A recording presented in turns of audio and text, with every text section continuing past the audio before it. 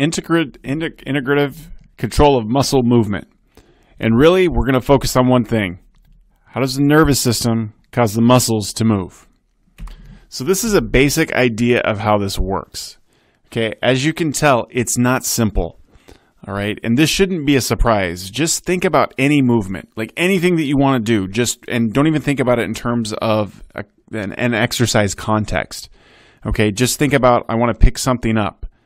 All right, just something as simple as i have got a spoon on my desk here. I pick it up. What has to go into me picking up a spoon? Obviously, when we do a complex movement that might be associated with exercise, running, um, making uh, a jump cut, playing basketball, uh, shooting a basketball, hitting a baseball, um, it gets just exponentially more difficult, more complicated. So we're going to try and simplify this. So really, there's four parts. You have to decide to move. Your brain has to figure out what needs to move. Then you have to actually do the movement. You have to move the appropriate muscles at the appropriate time with the appropriate force. But while this is going on, you also need to adjust. Okay. And there's a million reasons why you can do this, why you would want to adjust. Okay. Let's just take about, just think about this. We're not going to dive in and try and explain how this works, but just think about hitting a baseball. Okay. Or hitting anything that's thrown at you. Okay. Now, I've been playing outside with my kids and we've been playing baseball, right? I can throw it to, to Tate. Tate's seven. He's doing very well at hitting, but trying to get him to pitch to me, that's another story. Like I'll show him where I want him to throw it so I can hit it. And half the time it's, you know, above my head, at my feet, that sort of thing. And I still try and hit it. And sometimes I do, sometimes I don't. Okay. So while this is going on, I have to make adjustments. I'm expecting a ball that's, you know, three feet off the ground, 18 inches away from my body. I don't know. I'm making numbers up. And then I end up having to hit a ball that's two inches off the ground that's three feet away from my body. Okay. It's not easy. So, to start off, we have to develop the idea. So, we have to make the decision. This occurs in your prefrontal cortex. In this decision to move, what has to happen, or what ultimately happens, is you come up with this plan.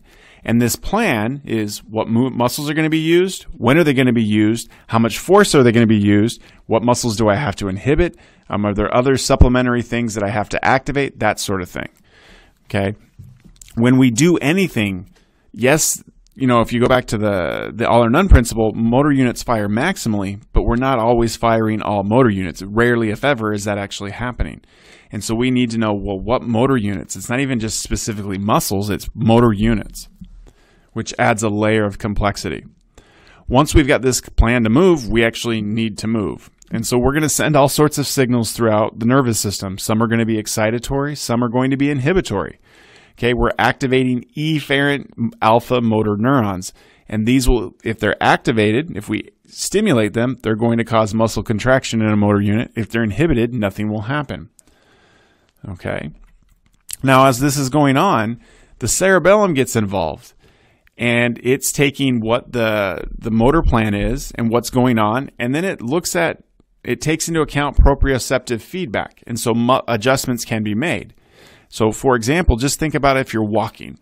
As I'm walking across campus, maybe I'm just walking on the sidewalk, and then I decide to walk across the dirt or a street or the curb or, or whatever. Things change. My gait will change, okay, so that I can continue to walk in a smooth movement or in a smooth pattern. This is what the cerebellum does.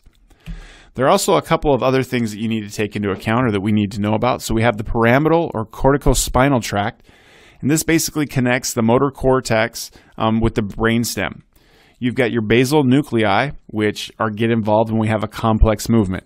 And I would argue that just about everything that we do, especially with exercise, is a complex movement. It's not just a simple patellar tendon knee reflex where it's one muscle. Okay? It's many muscles that are fine tuned.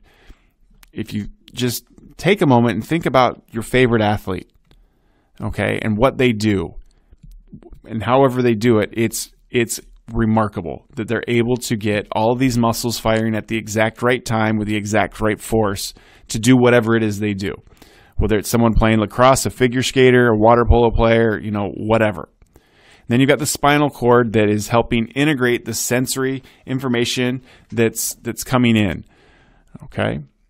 So to summarize, you got your visual centers because moving often and you know we're, we're watching something you have your motor cortex say hey it's time to go And then you coordinate everything with your basal nuclei and your cerebellum. Um, this information travels down to your uh, your spinal cord through the pyramidal tracts, and ultimately there's synapsing with motor neurons to either excite or inhibit them so that you can have the appropriate muscles fire at the appropriate time with the appropriate force.